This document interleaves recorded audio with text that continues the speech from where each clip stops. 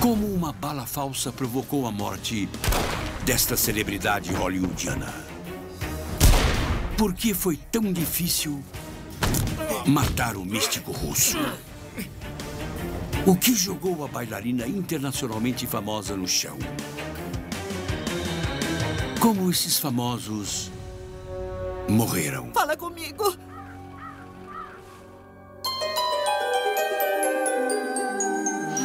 Há mais maneiras de morrer do que a mente humana é capaz de imaginar. Algumas são repentinas e chocantes. Outras são lentas e metódicas.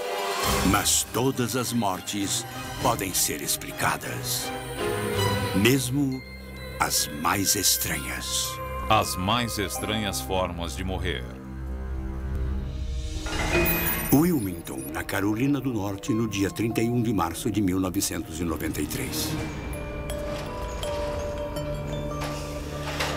O ator e especialista em artes marciais, Brandon Lee, experimentava o gosto do sucesso aos 28 anos de idade. Ele havia acabado de assinar um contrato com a 20th Century Fox. Oi. Oi, tudo bem? O que achou? Ficou ótimo. Vamos lá. E agora, Brandon estava filmando a superprodução O Corvo.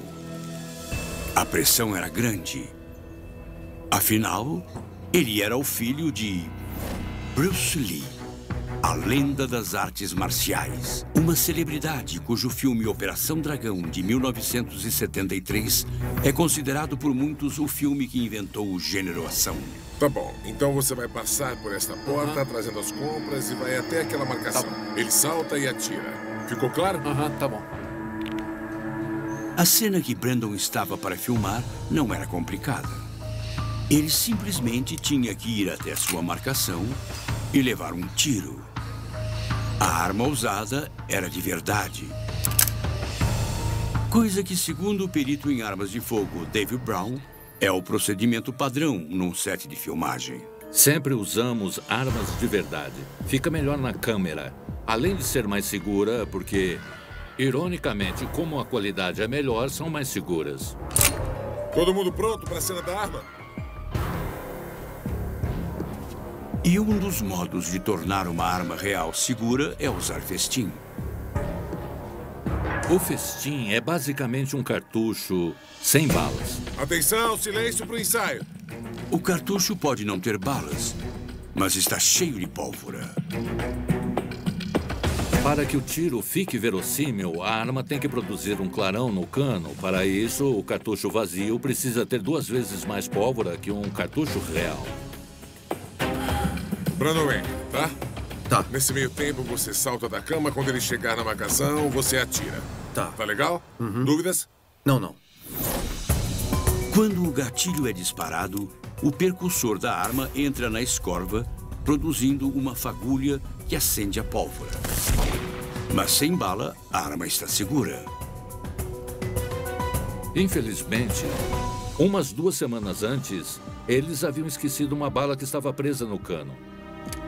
Para uma cena anterior, alguém havia carregado a mesma arma com balas falsas.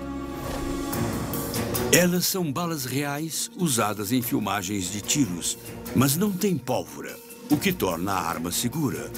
Pelo menos era isso que eles pensavam. Aquela bala havia sido empurrada para o cano, onde ficava basicamente invisível a menos que você olhasse dentro do cano, portanto ninguém a viu. Normalmente, uma bala alojada no cano teria sido encontrada por um perito em armas de fogo. Infelizmente, o perito em armas de fogo que eles haviam contratado não estava lá, tinha ido embora. Uma decisão que teve um resultado trágico. Tudo bem, vamos lá. Um cartucho vazio com um monte de pólvora, Ação! junto com uma bala falsa alojada no cano, tornava aquela arma mortal.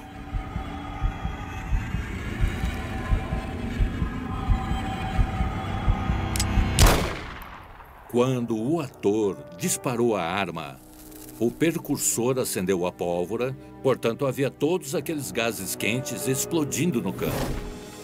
Eles atingiram a bala que estava lá havia duas semanas e forçaram a bala para fora do cano.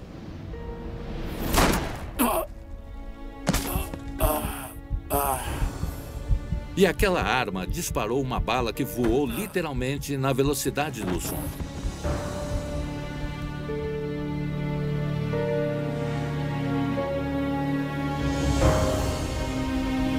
Corta! Levou um bom tempo para que a equipe de filmagem percebesse o que havia acontecido. Ai, meu Deus! O que está acontecendo com ele? Ele levou um tiro. Por favor, peça uma Ajudem ajuda. A bala perfurou o abdômen de Brandon e se alojou perto de sua coluna. Ele foi levado às pressas para o hospital, onde os médicos fizeram uma cirurgia de emergência. Nunca mais ele recobrou a consciência. A cirurgia durou 10 horas, mas ele morreu na sala de operação. Brandon Lee era um ator com um futuro promissor. Infelizmente, sua última atuação foi uma estranha forma de morrer.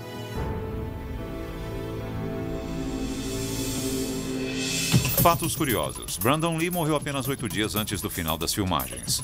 Eles terminaram o filme com o dublê e amigo de Brandon. O Corvo foi um sucesso de bilheteria. Ele arrecadou 94 milhões de dólares no mundo inteiro.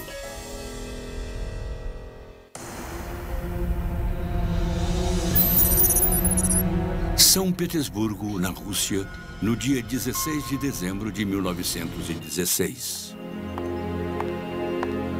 Grigori Yefimovich Rasputin, um dos místicos mais poderosos nascidos no século XIX na Rússia. Sua influência na corte russa era tão grande que ele era considerado uma ameaça. Por isso, o príncipe Yusupov da família real tramou seu assassinato. Esta é uma história com muitas teorias, que foi bem estudada pelo professor Joseph Furman. Félix Yusupov se uniu a alguns monarquistas e eles tramaram um plano para levar Rasputin até a mansão de Yusupov, onde ele seria assassinado. Pelo menos era o que eles pretendiam. Grigori Rasputin estava para se tornar uma das figuras mais famosas do mundo. Não só por causa de seus poderes místicos, mas também pela sua capacidade de desafiar a morte. Você pode tentar assassinar alguém e descobrir que não é tão simples assim. Você pode descobrir que a pessoa não morre na hora e que uma coisa que você achava que era fácil é, na verdade, muito difícil. Segundo as memórias de Yusupov, ele começou servindo a Rasputin uma refeição com vinho e bolos temperados com cianureto de potássio. Um veneno que mata instantaneamente. Segundo o patologista forense, o Dr. John Butt. O cianureto é fatal porque se trata de um veneno universal que atinge o corpo em um nível celular. Portanto, todas as células são afetadas por ele. Quando o cianureto entra no seu sistema, ele corta rapidamente o oxigênio das células. Sem oxigênio, as células morrem e seu corpo para. Isso interrompe sua consciência, suspende a atividade muscular. E se a atividade muscular para, isso inclui o coração. A substância é fatal em uma questão de segundos. Mas o cianureto não estava fazendo efeito. O Rasputin estava comendo e nada acontecia com ele. O Dr. John Butt tem uma teoria sobre o motivo.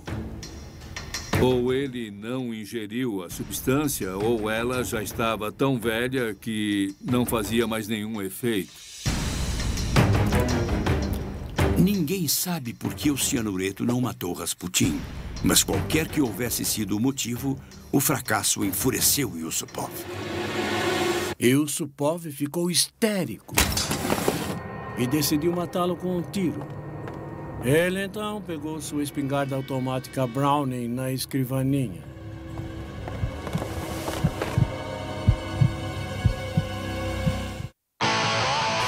Num programa de aventura extrema, Apavorante, mas vamos lá.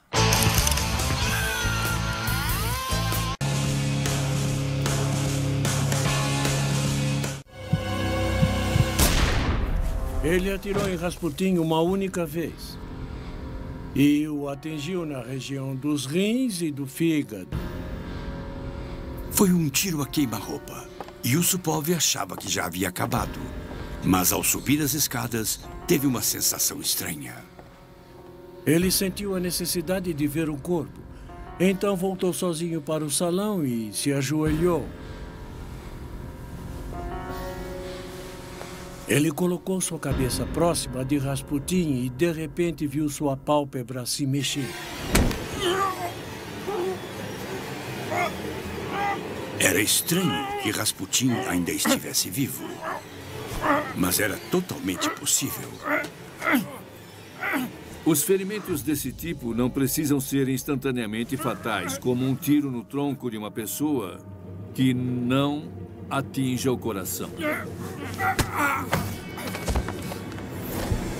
Se uma bala atinge o fígado ou os rins, a pessoa sofre uma hemorragia, mas pode levar uma hora até que ela morra. Isso depende da constituição do indivíduo. Não surpreende que ele tenha conseguido se levantar e se arrastar um pouco. Pelo menos o suficiente para escapar de seus assassinos.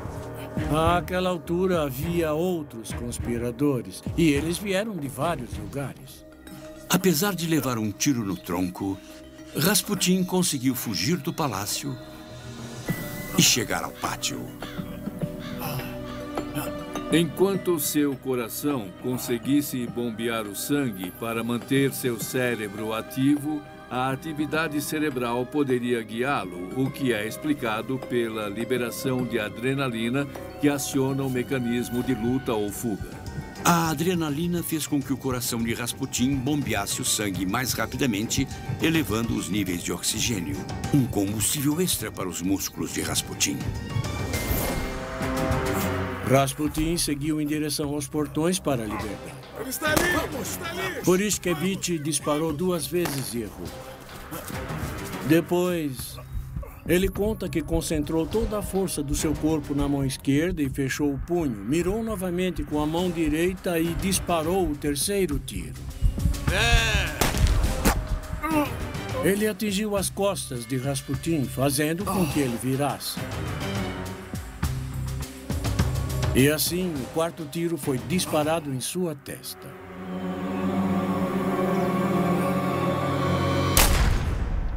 Rasputin parecia estar sem vida, mas o príncipe Yusupov e seus homens ainda não estavam convencidos de sua morte. Os conspiradores chutaram o seu corpo. Após um tiro nas costas, outro na testa e um espancamento violento, Rasputin não mais se mexia.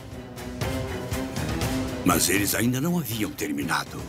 No pátio, ele foi enrolado em um tapete. Eles o amarraram com cordas.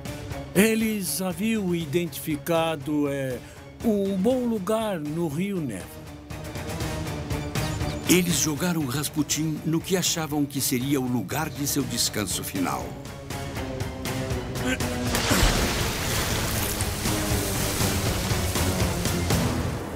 Levou dois dias para que seu corpo fosse descoberto.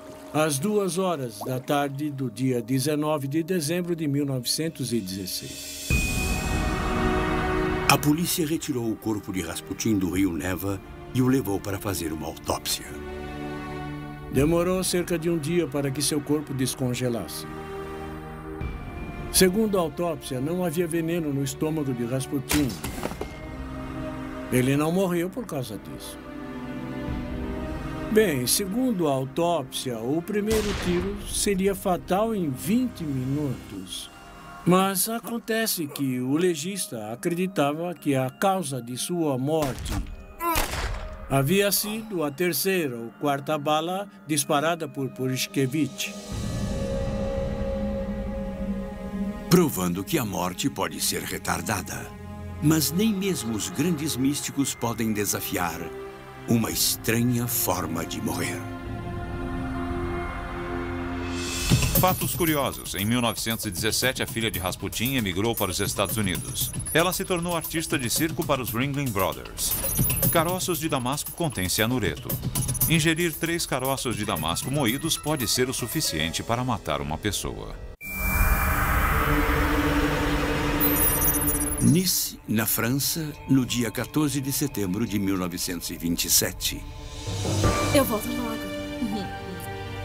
Até mais. Isadora Duncan foi uma das maiores bailarinas do século XX. Ela dançou para reis e rainhas e definiu toda uma era através de seus movimentos. Alguns dizem que ela é a única responsável pela invenção da dança moderna. Isadora! Naquele dia, Isadora estava deixando uma reunião de amigos para se encontrar com o suposto amante, o mecânico Benoit Falchetto.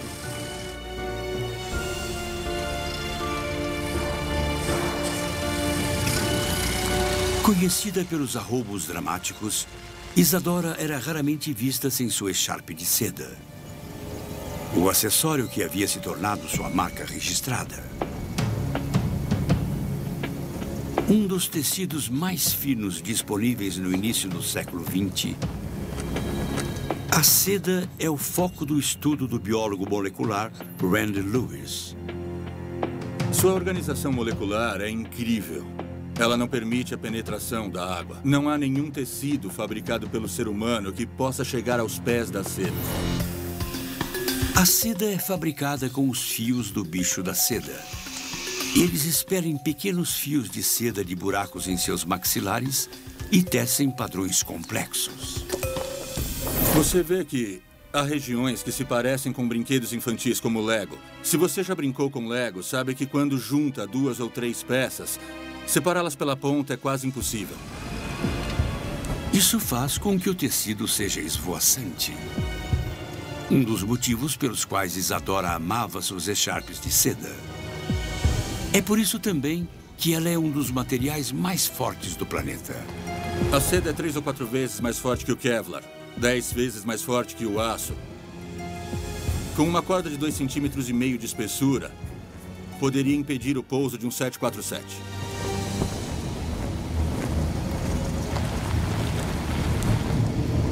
Por isso, ela não teve a menor chance.